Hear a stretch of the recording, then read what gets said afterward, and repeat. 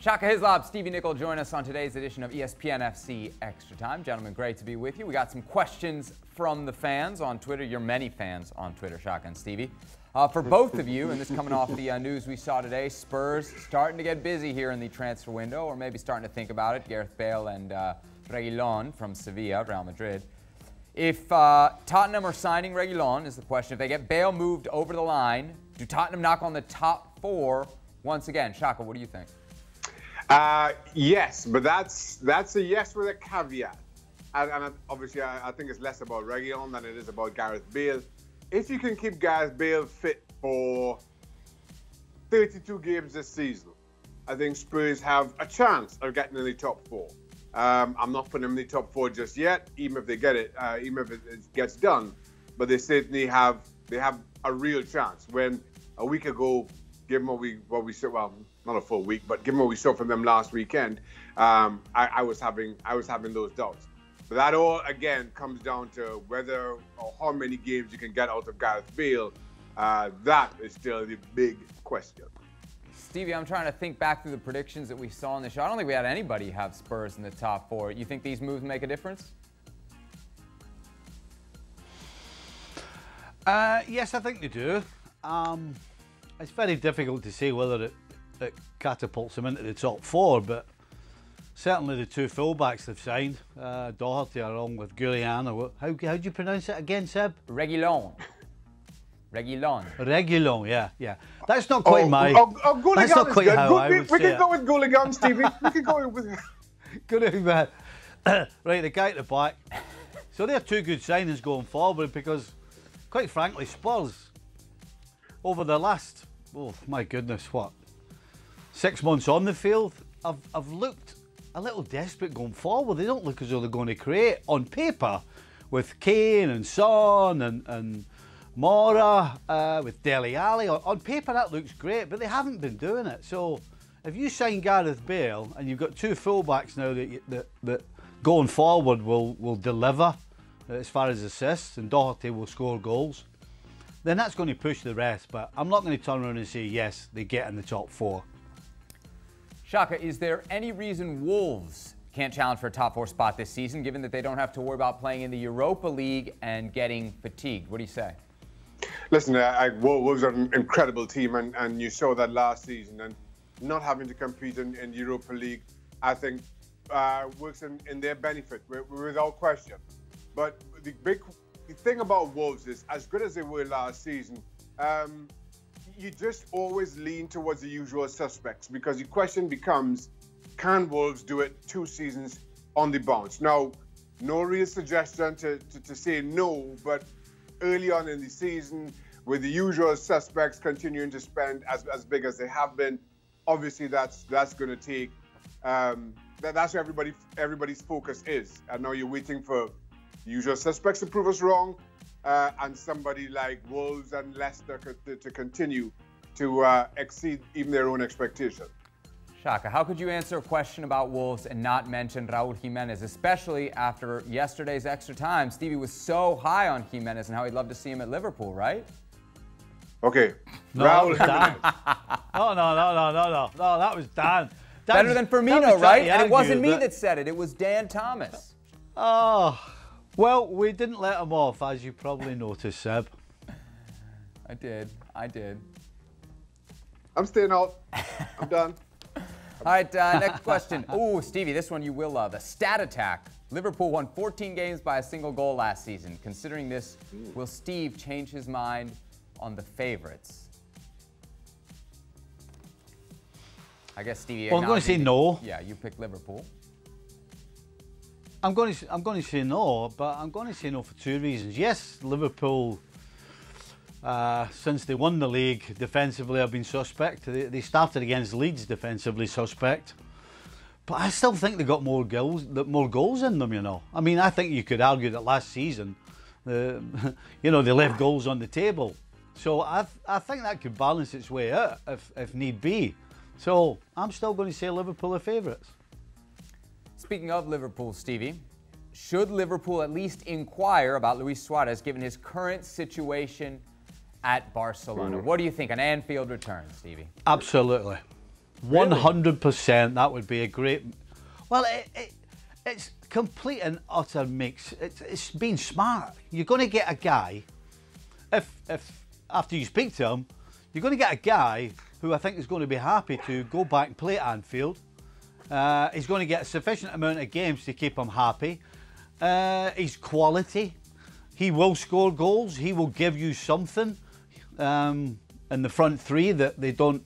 They don't. I think possess. I mean, maybe you could argue they don't need anything else right now, but so it, it makes complete sense. You know, Liverpool have to get a, a, an experienced campaigner who can play at the level that Liverpool are going to be playing at, or you've got a real star, an up and coming young player who, again, is more than happy just to, to be there and, and, and get the amount of games that he might get. But to the Suarez one, 100% I would do it. Let, let me ask this, Steve, though. Let me ask this. Um, let, us say I, I understand, I hear everything you're saying, but if you do, what's the over under on how many games Luis Suarez plays? If you do sign him between, you know, rotating and and uh, his, his fitness, what do you think is, is your over under games return for, for Luis Suarez if Liverpool do sign him? Well, you've got 34 Premier League, you've got, you're going to do decent at Carabao Cup, there's maybe four or five games, you've got FA Cup, another four or five games. You know, so he's going to be, he's going to be probably getting about 15 games. Mm. I mean, and, and you think, and you uh, think uh, he's, he's and, and, he's happy uh, with, he's happy, he's happy to no, come back to Liverpool no, to play 15. No, I, I'm, I'm, no, I'm not. I'm, I'm just asking genuinely, genuinely. I'm asking you. I'm going to answer your question. It's the first hmm. question you ask him. Look, are you happy to get 15 games, whether it's Premier League, FA Cup, or Carabao Cup? Are you happy to get 15, max 20? That's the first question you ask him. And if he hmm. says yes, get the pen out, get the contract out, and get it signed. Fair enough. Mm-hmm. Shaka, uh, a goalie question for you. Smart for Arsenal to sell Emiliano Martinez to Aston Villa, reportedly for like 25 million pounds, after how well he performed when he stepped in for the injured Bernd Leno. I, it, it, seems like a week or two ago we were talking about Martinez as Arsenal's obvious number one. Now he's gone. Yeah, I, I was saying Martinez was was uh, was was Arsenal's obvious number one. Um, but quite clearly, you know, Leno get, get, gets the nod because of the amount of money they spent on him, um, because of you know maybe people see him as as, as their long term as their long long term number one. Um, at the same time, I'm, I'm not so sure that it's Arsenal's choice to sell him. I, I think they were boxed into that corner, won by by Martinez's own performances, and he now sees himself as a number one, and, and rightly so. If if I'm Martinez, given what I did back end of last season, um, my performances and how highly my my own stock rose, and I go to, to Mikel Arteta and say, listen, am I going to be your number one this season? And he says, Well, I'm not so sure. I'm going to go with Bernd Leno and, and we'll see. I'm asking for a move. I'm, I'm saying, Well, if you can't guarantee me first team football or that I'm going to be starting, I'd, I'd prefer to to try to try my luck elsewhere. I've, I've sat on the bench all these years. Now I want to be a starter. So I, I think he more, and, and I don't have any insider information on this. I'm just looking I'm just putting myself in his shoes. I would be pushing for that move more than Arsenal would be than Arsenal would be pushing for, for that move um, to the question. Next question comes from Andy. Should Jamie Vardy be considered a Premier League legend? He has more goals than Drogba and has won a Premier League title, unlike Steven Gerrard. Stevie? Absolutely. I think he is. You know, he, he straight away became a legend, not just at Leicester, but in the Premier League for being the top scorer and a, and a side that absolutely was the, the Cinderella story. Uh, and at 33 years of age, He's just won the Golden Boot. I, I, I, please, somebody tell me who, who, was the last person of 33 years of age to win the Golden Boot. I don't think there is one in the Premier League, is there? Mm.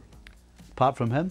Our next question, Golden Boot related, and Stevie, down to your pick. Stevie, how could you pick Aguero to win the Golden Boot when he hasn't won the award since 2015 and seems to get injured every season? Well, because you know he's going to be in, in and around it. Um, he got 16 goals in 24 games last season. The previous five, I'm going to say, he got 20 plus. 20 plus. So, listen, he's 32 years of age. We've just spoken with Jamie Vardy winning the Golden Boot at 33. So, why not Aguero? You you know he's going to be up there. So, I would be very confident. Sure. Picking Manchester. any amount of money on Aguero. Yeah, picking Manchester City's uh, leading striker as your golden boot, not not I- I- going out Sebi, too far I, on a limb. Sebi, I also think I also think that's Stevie's efforts at, at seeming impartial because he's picked a Liverpool goalkeeper to be goalkeeper this season. No. He's picked a Liverpool defender to be defender this season.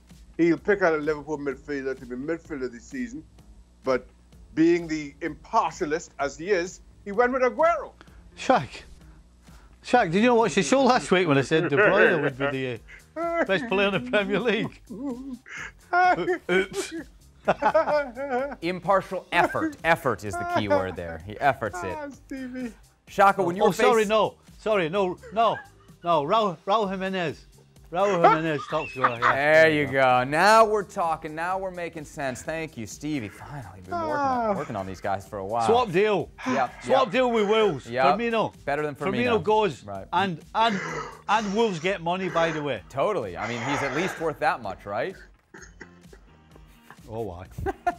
Shaka, uh, when you were facing a penalty, did you ever try to put off or delay the attacking player beforehand just to get an advantage? Like when you're late to our showtimes here. Um, uh, Well, first of all, I I don't know what advantage you get by making make making the striker wait any. I mean, the fact of the matter is, I, it, it's all in, in, in the striker's hands, and there's no pressure on, on a goalkeeper. I, I, I don't see the point in, in trying to delay it. I kind of um, I would walk to the side of the goal and see if I could pick up any any cues from from the striker in terms of his body language or which way he's looking or um, and and and use that. But I was never one to like walk to the penalty spot and say something silly and or whatever it is you, you're trying to trying to do. Um, You know the pressure's on him. Let him know that the pressure's on him. That's all. Guys, we've. Uh, So heard this- walking to the other side. Go ahead, Steve. So walking to the other side of the goal doesn't count. I want What's to the say difference I'm, between walking to I'm- the other side of the goal and walking straight out? No, I'm not different. going to. When I say that, I'm not going to go walking, you know, out by the corner flag. Well, for starters, I, I always kept a water Jack, bottle you- and you a are- towel. Hold on, listen. I always kept a water bottle, water bottle and a towel delay. in, in the net, hanging on one side. So we'd go there, have a little drink of water, play around with the towel, get Delay. my gloves all ready, like that. That's what I mean. Walk to the side, get a drink, dry your hands. Yeah, there's no delay in that whatsoever. and by the way, you must be unique. I've never spoken to any goalie who's not trying to be clever in some way when he's about to face a penalty kick. Stevie, give Come us the, the penalty takers. Do, does it mess with you then when you got to wait? You asking Stevie? I think uh, I, think it I think it depends on who it is. I, I, I think the longer the delay, the more. Listen, penalty taking is all about positivity and, and and positive thoughts, and the longer you have to wait, then those those wee guys can start creeping into your brain, and then the longer you wait, by the time you're about to take it, you're an absolute wreck, and you can't take it. Speaking of uh, absolutely. That's why I didn't take penalties. Never, not even one. Um, we heard uh, we heard Alexis Sanchez talking about his first training sessions with Manchester United and then the reaction afterwards. Uh, Ritvik asked, "What's your worst first impressions at any clubs you played at?" Shaka. Uh, listen, it's, it's a kind of an unfair question. Um, I, I, I'll say this. Probably, you know, I was thinking, thinking about it, probably Portsmouth, but that I, then again, that's not fair. And because, listen, I, I- I started at Reading, coming from college in the US, so everything looked immaculate and immense, even though we were playing at Elm Park, which is over 100 years old. I thought it was the best thing I'd, I'd seen in, in, in all my life. I then went to I then went to Newcastle, given everything that was going on up there at the time with Kevin Keegan, etc., etc. Then West Ham, then had to take a step back down to, to, to Portsmouth, which is why you know, kind of by default, um, I, have I've said them, um, and then finished up at, back at, at West Ham again. So uh, just in terms of first impressions of, of, of the club and the facilities, by default, not necessarily really by, by impression, have to go with uh, Portsmouth. Stevie, who was the best player that you ever coached? Who was the most frustrating to coach? And why didn't you draft me coming out of college in 2005? well, because I saw you playing. uh, unlucky you. Yeah. Uh, um, well, I coached the All-Star team, so there was uh, there was a chap called uh, David Beckham, mm. and another chap, um, one of your one of uh, your fellow countrymen, mm. Seb, uh, Quantimo Blanco. Nailed the pronunciation uh, so too. The two of them were, yeah, the two of them were phenomenal. Blanco Blanco was brilliant. Mm -hmm. But I guess I guess on a domestic front, um, I uh, I drafted Clint Dempsey, and so probably he went on to be the most successful player that I coached pretty strong. It's a pretty strong draft pick. I've never, hold on, I've never, I have to vent here. I've never seen anybody go over easier than Blanco. Played against, I played against Blanco a few times at international level. No, no. And if the breeze was strong enough. Ale, not even Ale Moreno? Yeah, that's, no. that's, a, that's a good call. Now, Blanco was what, worse than I'll Moreno. tell you what, Moreno. Blanco was worse than Moreno. I'll tell you what, No question. Moreno. No, go ahead. Yeah, but. Go ahead. Sully Cuauhtemoc Blanco's well, good name here on Extra Time. Please. No, not at all. He was smart. He was. Uh, think of Ali and then multiply it. You know, when I was at the Red, for smart, we'd play, what? we'd play against Chicago. we'd play against Chicago. I was wondering where you're going with that. He was smart. Think of Ali. We would play against Chicago, right? And we come in at halftime, and then we come in at the end of the game, and and all the defenders were all going, "Oh, Blanco, he's a cheating so and so," and all he does is dive. And I'm sat, I, I, am sitting listening to this. I'm in the coach's room with the door open, and I'm sat with Paul. And I'm sitting listening to this, and I'm turning to Paul and going, you know something? They're just too stupid. He's just too smart for them. All he was doing, all he was doing was putting his, his, his body in the way from a different angle so that these idiots would run into him and hit him. I mean, he was just too smart for them, but they didn't see it that way. They thought he was a diver. He, He's not a diver. He's diver. Just, he's just very. He's just very, no. number one. He was very clever, and mm -hmm. and number two, he had he had two fantastic feet. You talk about if if you had a lineup right, and got people to wear a a football strip or a soccer kit, and you went down the line, he'd be the last one you picked because he doesn't look like a football player.